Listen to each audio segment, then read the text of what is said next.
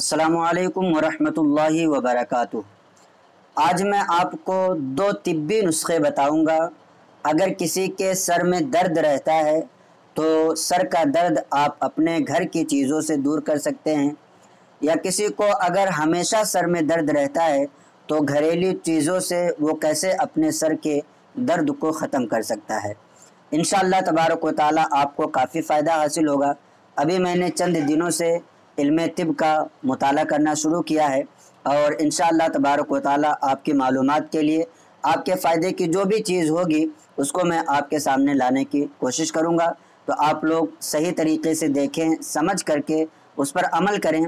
इन तबारक वाली जो आपको छोटी छोटी बीमारियाँ आपके घरों में पेश आती हैं, आपको, आपके बच्चों को, आपके घर वालों को, वो आप अगर इन तमाम वीडियोज़ को देखते हैं तो इसको दूर कर सकते हैं। अगर किसी के सर में दर्द रहता है तो सर का दर्द जो है, ये इसकी कई वजह होती हैं। कभी ज़ुकाम के वजह से होता है और सर्दी की वजह से होता है कि ज़ुकाम बार बार हो करके नाक में जम जाता है, दिमाग में चढ़ जाता है तो इसकी वजह से सर में दर्द होता रहता है। नाक से जो पहने, बहने वाला पानी होता है, उसको ज़ुकाम कहते हैं और जो जमा हुआ होता है, उसको नज़ला कहा जाता है। तो ये दोनों चीज़ों की वजह से आपके सर में दर्द हो सकता है। आप एक तरीक़ा समझ लें, आप अपने घर में ये चीज़ करें इन तबारक ताली बेपना फ़ायदा हासिल होगा। आप अपने घर में देखें कि दारचीनी जो होता है, जिसको बहुत सारे लोग दालचीनी भी बोलते हैं, वो आप छः ग्राम ले लीजिए और इसी तरीके से सौंठ ले लीजिए। अदरक जो होता है, उसको जब सुखा दिया जाए तो वो सौंठ बन जाता है। तो सौंठ अगर आप बनिया की दुकान पर जाएँ तो वहाँ आपको मिल जाएगा। तो छः ग्राम आपको सौंठ लेना है और छः ग्राम दार चीनी लेना है। इन दोनों चीज़ों को ले करके एक गिलास पानी में उबाल दें और फिर उस पानी को छान लिया जाए। और जब वो पानी आधा रह जाएगा, पानी में जब आप उबाल रहे होंगे एक गिलास पानी में जब आप देखें कि आधा गिलास पानी रह गया है तो उसको निकाल, उतार करके आप उसको छान लें और उसमें अपने जायका के अतबार से, अपने पसंद के अतबार से थोड़ा सा शक्कर मिला लें या थोड़ा सा शहद मिला लें। जो भी आपको अच्छा लगता है, शहद मिलाएँगे तो ज़्यादा अच्छा है। या शक्कर आपके घर में आमतौर पर दस्तियाब होता है तो उसको मिला लीजिए और उसको आपको सुबह में खाली पेट पीना है। इस तरीके से आप दो चार दिन करें इन तबारक वाली आप देखेंगे कि आपके सर में जो दर्द रहता है, वो दर्द आपका बिल्कुल भी ख़त्म हो जाएगा।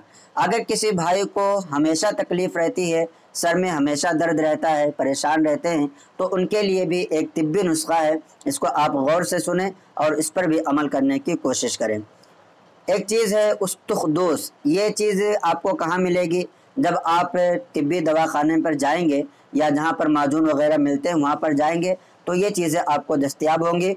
उस्तुखदोस आपको तीन ग्राम लेना है और खुश्क धनिया आपको तीन ग्राम लेना है। इसी तरीके से काली मिर्च आपके घर में होती हैं और खुश्क धनिया भी आपके घर में मौजूद होता है। तो काली मिर्च पाँच अदद, धनिया खुश्क तीन ग्राम और उस्तुखदोश तीन ग्राम। ये तीनों चीज़ों को लेना है, इनको बारीक पीस लेना है और इसका जब आप पीस करके इसको किसी कागज़ वगैरह में रख लें और सुबह में नाश्ता से पहले ही नीम गर्म पानी यानी आधे गर्म पानी के साथ इस्तेमाल करें। पानी ज़्यादा गर्म ना हो कि पीने में आपको दिक्कत होगी। इसलिए उसको हल्का गर्म करके आप पहले ये चीज़ जो सफूफ आपने बनाया है, पेस्ट आपने बनाया, उसको खा लीजिए और उसके बाद उसके ऊपर से पानी पी लीजिए। पानी पीने के बाद आधा घंटा आराम करें और उसके बाद फिर जो नाश्ता वगैरह आपको करना है वो नाश्ता करें। अगर किसी के सर में हमेशा दर्द रहता है, सर का दर्द जाता ही नहीं है तो इन तबारक ताली उसको बहुत ही ज़्यादा फ़ायदा हासिल होगा। तो उम्मीद करता हूँ कि ये क्लिप आपको अच्छी लगी होगी। आपसे दरख्वास्त है कि आप अपने भाइयों के फ़ायदे के लिए इस क्लिप को ज़्यादा से ज़्यादा अपने दोस्तों अहबाब को भी शेयर करें, ताकि उन्हें भी मालूम हासिल हो। असलकम वरहमल वर्का